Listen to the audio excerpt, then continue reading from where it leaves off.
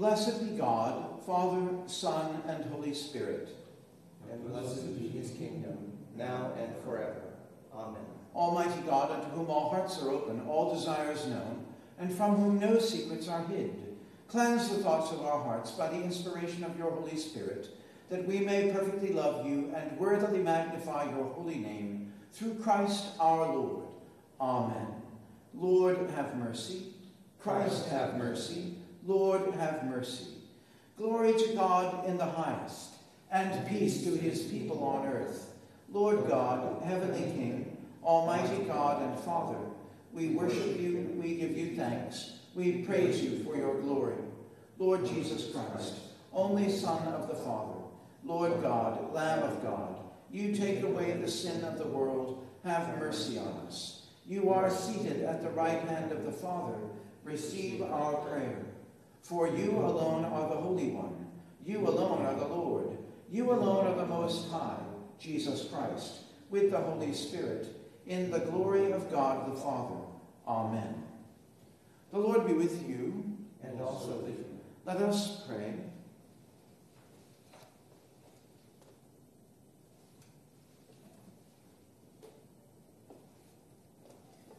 O Lord our God, you call whom you will and send them where you choose. We thank you for sending your servant Willibrord to be an apostle to the Low Countries, to turn them from the worship of idols to serve you, the living God. And we entreat you to preserve us from the temptation to exchange the perfect freedom of your service for servitude to false gods and to idols of our own devising. Through Jesus Christ our Lord, who lives and reigns with you and the Holy Spirit, one God, forever and ever. Amen. Please be seated.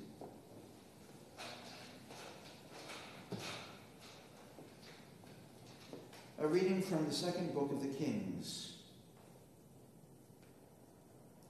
Now the people of the city said to Elisha, The location of this city is good, and as my Lord sees, but the water is bad and the land is unfruitful. He said, Bring me a new bowl and put salt in it. So they brought it to him.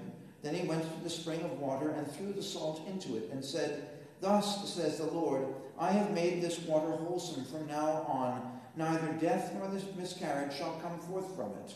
So the water has been wholesome to this day, according to the word that Elisha spoke. He went up from there to Bethel, and while he was going up on the way, some small boys came out of the city and jeered at him, saying, Go away, bald head, go away, bald head. When he turned around and saw them, he cursed them in the name of the Lord. Then two she bears came out of the woods and mauled forty two of the boys. From there he went on to Mount Carmel and then returned to Samaria. The word of the Lord. Thanks be to God. The psalm appointed for today is a portion of Psalm 98, the first four verses, which are found beginning on page 727 of the Book of Common Prayer. Psalm 98, verses 1 to 4 which we'll recite together in unison. Sing to the Lord a new song, for he has done marvelous things. With his right hand and his holy arm has he won for himself the victory. The Lord has made known his victory. His righteousness has he openly shown in the sight of the nations. He remembers his mercy and faithfulness to the house of Israel, and all the ends of the earth have seen the victory of our God.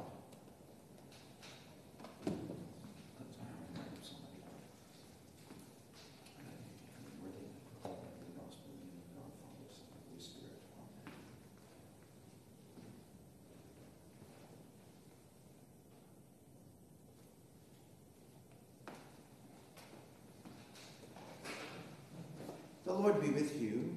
And also with you. The Holy Gospel of our Lord Jesus Christ according to Luke. Glory to you, Lord Christ. Jesus told them a parable about their need to pray always and not to lose heart. He said, In a certain city there was a judge who neither feared God nor had respect for people. In that city there was a widow who kept coming to him and saying, Grant me justice against my opponent. For a while he refused, but later he said to himself, Though I have no fear of God and no respect for anyone, yet because this widow keeps bothering me, I will grant her justice, so that she may not wear me out by continually coming. And the Lord said, Listen to what the unjust judge says. And will not grant God grant justice to his chosen ones who cry to him day and night? Will he delay long in helping them? I tell you, he will quickly grant justice to them. And yet, when the Son of Man comes, will he find faith on earth? The Gospel of the Lord. Praise to you, Lord Christ. In the name of God, Father, Son, and Holy Spirit. Amen. Today we celebrate Willibrord, which um, was not a household name. I'll read to you a little bit about him. His life and ministry and labors are known about through the Venerable Bede's ecclesiastical history and a biography by his younger kinsman Alcuin. He was born in Northumbria about 658 and from the age of seven was brought up and educated at Bishop Wilfrid's monastery at Ripon. For 12 years, 678 to 690, he studied in Ireland, where he acquired his thirst for missionary work. In 690, with 12 companions, he set out for Frisia, Holland, a, a pagan area that was increasingly coming under the, domin- the domination of the Christian Franks. The Bishop Wilfrid and a few other Englishmen had made short missionary visits, but with little success. With the aid of the Frankish rulers, Willibrord established his base at Utrecht, and in 695 Pope Sergius ordained him a bishop and gave him the name of Clement. In 698 he founded the monastery of Echternach near Trier. His, his work was uh, frequently disturbed by the conflict of the pagan Frisians with the Franks, and for a time he left the area to work among the Danes. For three years, in 719 to 722, he was assisted by Boniface, who at a later time came back to Frisia to strengthen the mission. In a very real sense, Willibrord prepared the way for Boniface's more successful achievements by his relations with the Frankish rulers and the papacy, who thus became joint sponsors of missionary work. He died at Echternach on November 7th, 739. We have today these strange readings, the first and second Kings, in which we're told that uh, Elisha, um, first of all, purified water by adding salt, and second of all, caused uh, several she bears to come out of the forest to maul the boys who taunted him. Since I am not bald, I could ignore this reading altogether. No one will ever call me bald head, I don't think, or at least not in the near future. But I don't want to ignore this reading altogether because it's kind of gross. And I think we should stop and try to figure out what to do with a reading like this, which is kind of gross. It's, we get it in, con- in conjunction with the reading from St. Luke's Gospel of the story, the, the parable of the unjust judge, which is also a little bit gross. That Jesus teaches his people that um, when he teaches, when he tells them this parable, that we should learn something, listen to what the unjust judge says. What does the unjust judge say? The unjust judge does not say that I will give this woman justice because I'm here for justice. I believe in justice and she deserves justice. He says, I'll give this woman justice so she'll leave me alone. And then he expects us to learn a lesson about how we should pray always, suggesting that there's something like God that is similar to the unjust judge. I don't like this parable. It's not a good parable. So there are some important lessons for us to learn, I think, from these kind of gross readings that we have today. One of the lessons is this that people are mean. There's, I could put it another way, but I'm not supposed to say it in church. So, um, that people are mean, unkind, unfair, unjust. They do stupid things, wrong things, hurtful things, harmful things. None of us, of course, but other people. People are mean, on the one hand. Uh, on the other hand, what we find out is that terrible things do happen. I mean, maybe it is the case that somewhere in the area of Elisha, back there someday when somebody was telling stories, that a bunch of boys were mauled by some bears that came out of the woods. And maybe it is the case that somebody writing this down, maybe Elisha himself, maybe one of Elisha's followers, cohorts, um, uh, uh, minions, uh, started to tell a story of why it was that those bears mauled the boy, the boys, because they'd been taunting Elisha. Well, I, this seems far-fetched to me. What does not far-fetched to me, seem far-fetched to me, is that bad things happen. Attacks by wild animals happen um, natural disasters happen. Horrible accidents resulting in death and disfigurement happen. This is true. It hasn't stopped being this way. What we have really stopped, by and large, but not entirely, in some segments of Christianity and religion, what we've tried to, what we've really stopped is trying to assign causation to those that make it clear that it was always God's divine will anyway. That those 42 boys got mauled by those bears. Ah, gross. I don't think so. There's another lesson that we should learn from observing these two lessons that people are mean and that accidents and natural disasters happen. And here is the other lesson that I think we should learn from this that the gospel is not magic. We want it to be, desperately want it to be magic. We want to be, we want to be able to say, all we need to do is utter God's name in just the right volume, place, whatever, and all will be well. But we've tried it, haven't we? I mean, we've asked, we've tried uttering God's name, saying our prayers, falling to our knees, offering whatever we can offer, making deals with God, etc., in hopes that the gospel would work like magic, that if we could just master the spells or the incantations, then we'd be protected, then we'd be safe, then we'd get what we want. But it doesn't work that way. Because love doesn't work that way, and what the gospel is, is love, not magic. And love is not magic. Love is a powerful force that can overcome everything, but it takes effort and work, and it is subject to resistance that will prevent it from accomplishing its goals, its means, and its ends. And the gospel is love, not magic. People are mean, disasters and accidents happen, and the gospel is not magic. But the gospel is love. The gospel is the thing that gives us life. The gospel is our hope for salvation. And the gospel is the reason that we should examine our own hearts so that we are prepared to engage meaningfully with a world in which people are mean and natural disasters and other non natural disasters, for that matter, happen too. Because in such a world, love is desperately needed. Love is desperately needed. I don't understand the parable of the unjust judge in it in the, in the way that if I was Jesus' publisher, I would say, let's leave that out. But what I do understand is that Jesus tells us, before he even starts to tell, or St. Luke, I guess, tells us, what, because St. Luke must have known that we were going to struggle with this one, right? He must have thought to himself, ooh, I don't like this parable either, but it's what I've got to work with, and I got to deal with it. So St. Luke tells us that Jesus told a parable about the need to pray always. He didn't tell a parable about how God is just. He didn't tell a parable about how it is that justice will prevail. No, St. Luke is deliberately telling us those are not the point of the story. And if you think you're going to get the point, those points out of the story, you're wrong. The point of this story is to say, pray always. It's the only reasonable point you're going to get out of this story. Look elsewhere, and it's not going to go well for you. Luke seems to be saying to us by omission, if Luke will allow me to speak for him, which he's been doing for some time.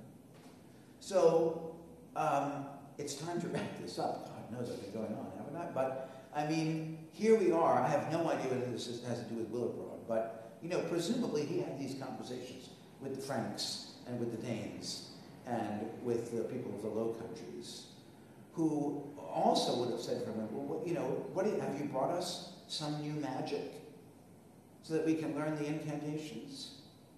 And Willibrord would have had to say, "Oh." No, I haven't.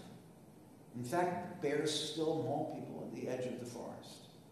And accidents still happen, and there are still unjust judges in the world, even though I carry this book with me and I read about it and I try to learn its lessons. And I believe that God wants good things for God's people. But what I know is that even though there are still bears and unjust judge, judges, that there is love in this world. And in a world that has bears on the edge of the forest and unjust judges in every, in every possible city, we need the power of love in the world because it is the only power that will give us new life at the end of the day when the unjust judges have done their worst and the bears have done their worst. And we are sitting in our tears, in our suffering, in our sorrow, wondering what happened. And God comes to us and in love and picks us up in our sorrow and our brokenness and says, Come to me, child, and let me love you. In the name of God, Father, Son, and Holy Spirit. Amen.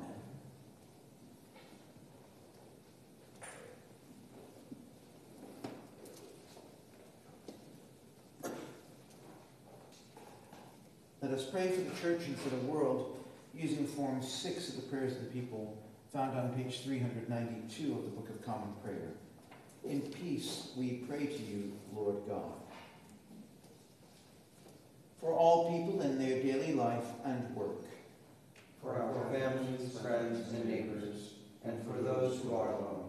For this community, the nation, and the world. For all who work for justice, freedom, and peace. For the just and proper use of your creation. For the victims of hunger, fear, injustice, and oppression. For all who are in danger, sorrow, or any kind of trouble. For those who minister to the sick, the friendless, and the needy. For the peace and unity of the Church of God. For all who proclaim the gospel, and all who seek the truth. For Justin, the Archbishop of Canterbury, for Michael, our presiding bishop, for Daniel, our bishop, for Britt, Nora, Stephen, Nicholas, and Gordon, my priest brothers and sisters who worship and work in this place and parish, and for all bishops and other ministers. For all who serve God in his church. For the special needs and concerns of this congregation, remembering especially all those who are sick with the coronavirus and all those who care for them. Remembering those who, are, who hunger and thirst for righteousness, who are struggling for justice that's been denied, and who are working to bring about an end to the sin of racism in our hearts and in our society. Remembering also all those beloved of this parish community who are sick or in need, especially Chris, Sue, John, George, Mary Jane, Marlene, Marguerite, Mark, Ira, Nick, Bryce, Alex, Rodney, Howard, Richard, Margaret, Will, Lisa, Scotty, Cindy, Eric, Shema, Rebecca, Anne, Clayton, Colin, John, Liz, Oliver, Jillian, Rick, and all those others who we remember in the silence of our hearts. Continuing also to pray for peace in our time, for an end to the war in Ukraine and an end to warfare everywhere, for an end to the gunfire that takes so many lives in this city. Remembering also to pray for refugees in every place around the world, praying for those who live in great poverty in too many places around the world, for those who are homeless, hungry, lost, frightened, or alone, for those who have been exploited or abused, for those who are struggling with addiction or suffering with mental illness, for those who are languishing in prison, especially those who've been wrongfully sentenced and those who've been sentenced to death. And remembering all those who suffer in any way in body, mind, or estate. Hear us, Lord. For your mercy is great. We thank you, Lord, for all the blessings of this life, giving thanks especially for the beauty of this day, giving thanks for all those who help us to offer hospitality in this place and parish, giving thanks for all those who support this place with their financial gifts, and for all those who've made pledges for support for the coming year. We will exalt you, O God, our King. And praise your name forever and ever. We pray for all who have died, that they may have a place in your eternal kingdom. Remembering especially all those who've died from the coronavirus in the past day, and remembering, those whose lives have been taken from them in acts of war and violence in recent days. Lord, let your loving kindness be upon them who put their trust in you. We pray to you also for the forgiveness of our sins. Have mercy upon us, most merciful Father. In your compassion, forgive us our sins. known and unknown, things done and left undone, and so uphold us by your Spirit, that we may live and serve you in newness of life, to the honor and glory of your name, through Jesus Christ our Lord. Amen. Almighty God, have mercy on you, forgive you all your sins through our Lord Jesus Christ, strengthen you in all goodness, and by the power of the Holy Spirit, keep you in eternal life. Amen. The peace of the Lord be always with you. And also with you. Walk in love as Christ loved us and gave himself for us, an offering and sacrifice to God.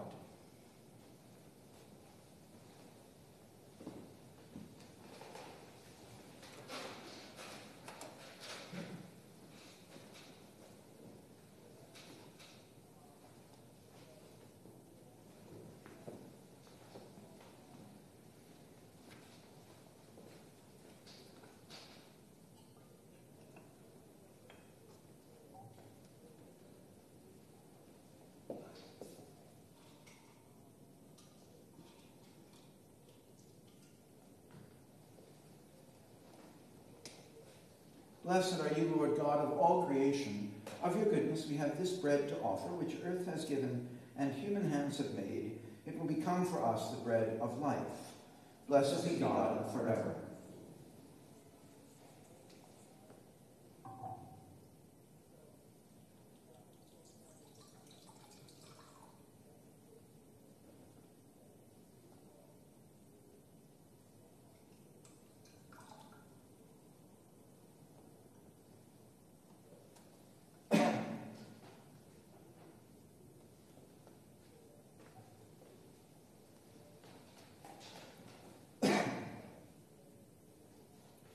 Blessed are you, Lord God of all creation. Of your goodness we have this wine to offer. Fruit of the vine and work of human hands, it will become for us our spiritual drink. Blessed be God forever.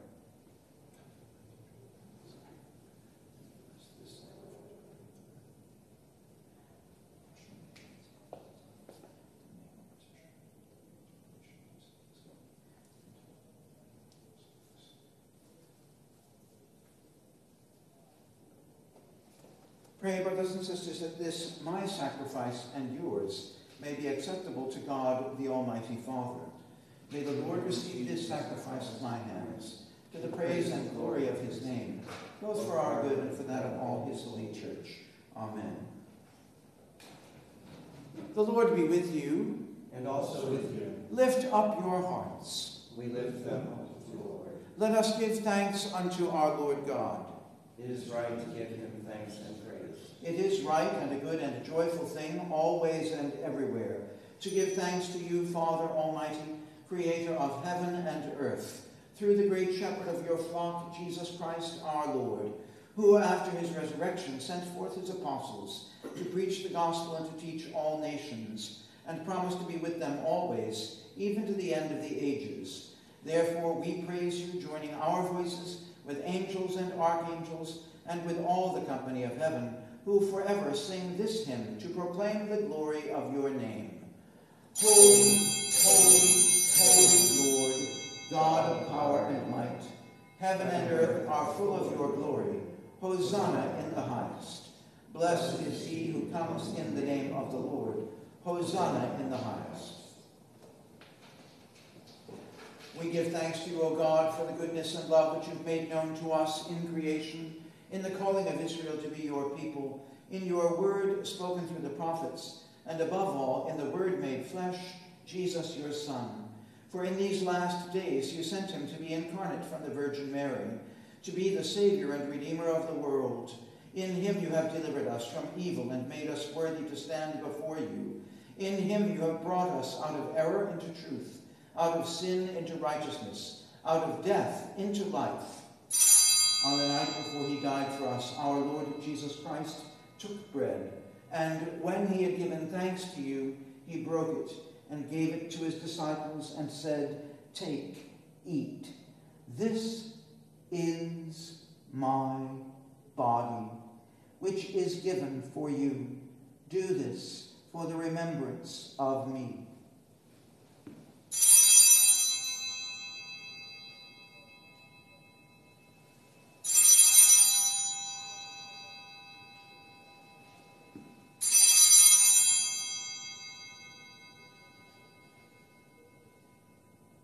After supper, he took the cup of wine, and when he had given thanks, he gave it to them and said, Drink this, all of you, for this is my blood of the new covenant, which is shed for you and for many for the forgiveness of sins. Whenever you drink it, do this for the remembrance of me.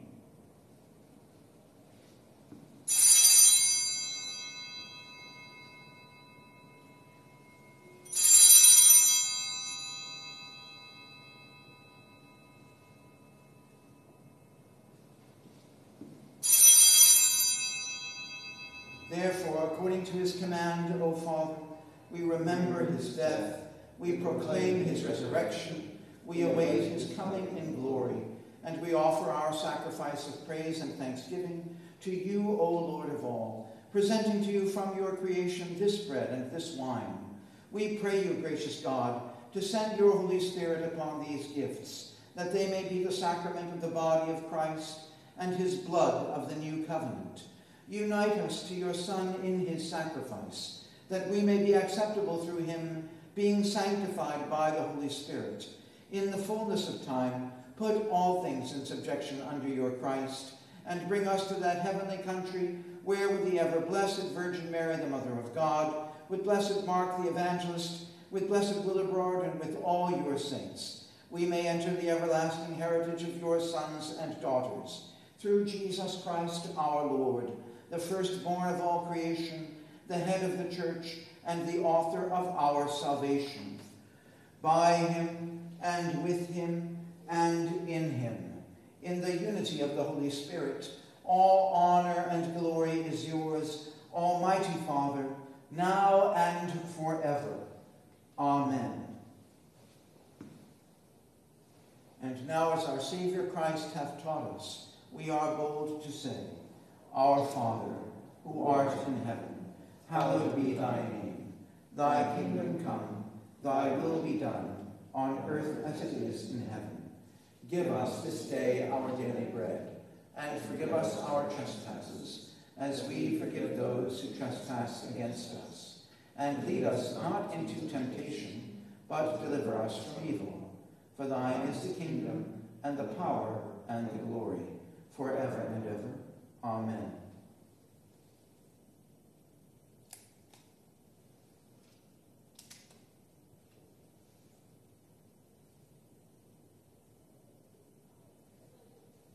Alleluia, Christ, our Passover is sacrificed for us. Therefore, let us keep the feast. Alleluia. Lamb of God, you take away the sins of the world. Have mercy on us. Lamb of God, you take away the sins of the world. Have mercy on us. Lamb of God, you take away the sins of the world. Grant us peace.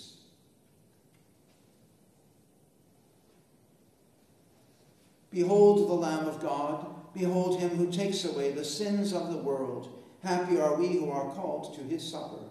Lord, I am not worthy to receive you, but speak the word only, and my soul shall be healed.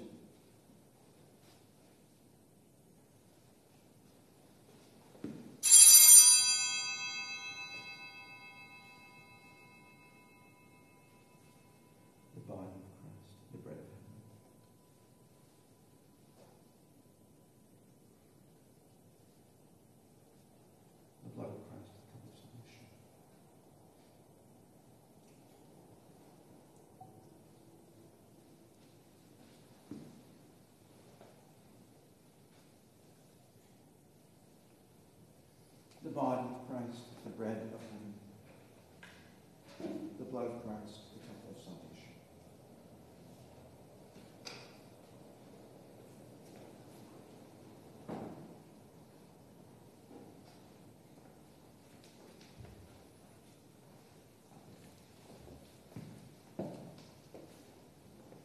The body of Christ, the bread of heaven.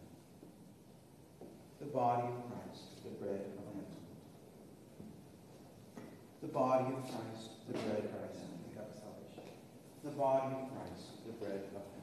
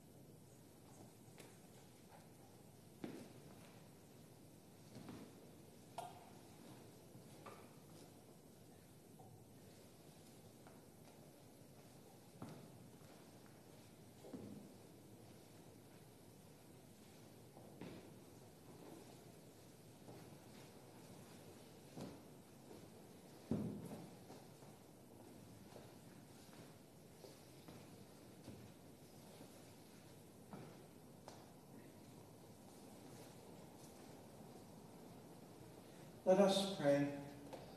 Eternal God, Heavenly Father, you have graciously accepted us as living members of your Son, our Savior, Jesus Christ, and you have fed us with spiritual food in the sacrament of his body and blood. Send us now into the world in peace, and grant us strength and courage to love and serve you with gladness and singleness of heart. Through Christ our Lord. Amen.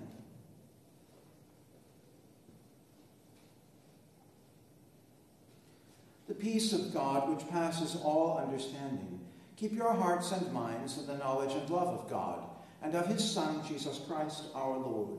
And the blessing of God Almighty, the Father, the Son, and the Holy Spirit be upon you and remain with you this day and forevermore. Amen. Let us go forth in the name of Christ. Thanks be to God.